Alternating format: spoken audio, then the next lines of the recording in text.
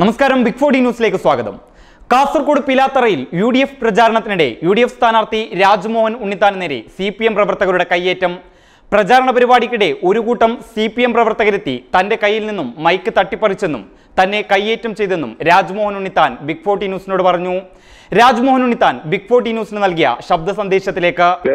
കാസർഗോഡ് കല്യാശ്ശേരി മണ്ഡലത്തിലെ അറുപത്തി ഒമ്പത് എഴുപത് ബൂത്തുകൾ വൈകിട്ട് നാല് മണിക്ക് ഒരു റോഡ് ഷോ ഉണ്ടായിരുന്നു. ഏഷ്യാനെറ്റും പിന്നെ മനോരമ ചാനൽ എന്നോടൊപ്പം അതിനകത്തുണ്ടായിരുന്നു. അവരിത് മൊത്തം ലൈവായി കൊടുത്തിരുന്നു.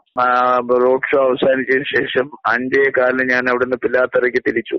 രാവിലെ ഞാൻ D Y S Taliparamba D Y S P വിളിച്ചിട്ട് പെർമിഷൻ വാങ്ങിച്ചു. എനിക്ക് പെർമിഷൻ തന്നു. നാല് തൊട്ട് ആറ് വരെ അവിടെ പ്രസംഗിക്കാൻ. അപ്പോ ഞാൻ പ്രസംഗിക്കാനായിട്ട് അഞ്ചേകാലിന് അവിടെ തിരിച്ച് അവിടുന്ന് അഞ്ച് മുപ്പത്തിയഞ്ചിന് പിലാത്തറയിലെത്തി പിലാത്തറ ഖാദി സ്റ്റോർ മുമ്പിലാണ് എന്റെ യോഗം. അവിടുന്ന് രണ്ട് കൊല്ലം അപ്പുറത്ത് എം പി ജയരാജന്റെ യോഗം നടക്കുന്നുണ്ട്. രാജ്ഭവനിൽ ഞാൻ പ്രസംഗിക്കുന്നുള്ള അനൗൺസ്മെന്റ് കേട്ടുകൊണ്ട് അവിടെ നിന്ന് ആളുകൾ മൊത്തം എന്റെ അടുത്തേക്ക് വന്നു. പ്രസംഗം കേൾക്കാൻ.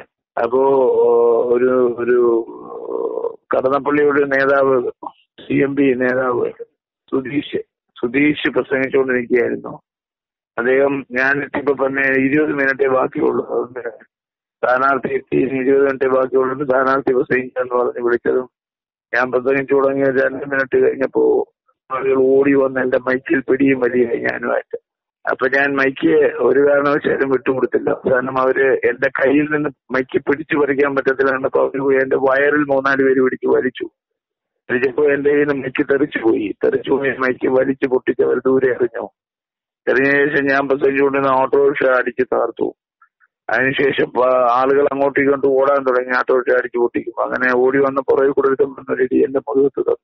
അതിനുശേഷം ഇതൊക്കെ റെക്കോർഡ് ചെയ്ത ഏഷ്യന്റെ മുജീബിനെ പട്ടിയെ തല്ലുന്നതാണ് അവിടെ അടിച്ച് ശരിപ്പെടുത്തി കളഞ്ഞു ഒരുപാട് ഉപദ്രവിച്ച അയാളെ മുജീബിനെ. മുജീബ് എന്നെ ആക്രമിക്കുന്ന രംഗങ്ങൾ ക്യാമറയിൽ പകർത്തി ഏഷ്യന്റെ അതിനാണ് അദ്ദേഹത്തെ അടിച്ച് ശരിപ്പെടുത്തി കഴിഞ്ഞത്. അദ്ദേഹത്തെ പരിഹാരം ആശുപത്രിയിലേക്ക് കൊണ്ടുപോയി. അപ്പൊ എനിക്ക് മുതുകത്ത് സാരമായ വേദനയുണ്ട്.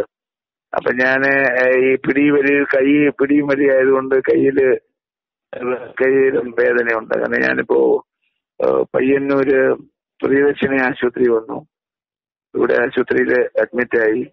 ഇപ്പോ എന്റെ എക്സ്റേ എടുക്കാൻ പോന്നു. എനിക്ക് കുറെ മെഡിസിൻ ഒക്കെ ഡോക്ടർമാർ തന്നു.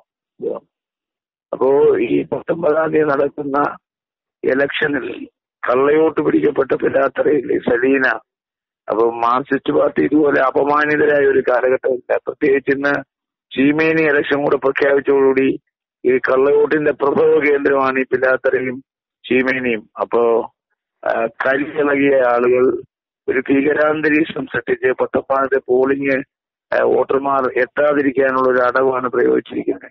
മാത്രമല്ല ഈ ഒരു റീപോൾ വെച്ചവരും തൊട്ട് റിട്ടേണിംഗ് ഓഫീസറെ അവമാനിക്കുന്നുണ്ട് ഇന്നലെ ചാനലിലൊക്കെ വന്ന് ടി കെ രാജേഷ് വിവരമില്ലായ്മയാണ് കാണിച്ചതെന്നൊക്കെ പറഞ്ഞു.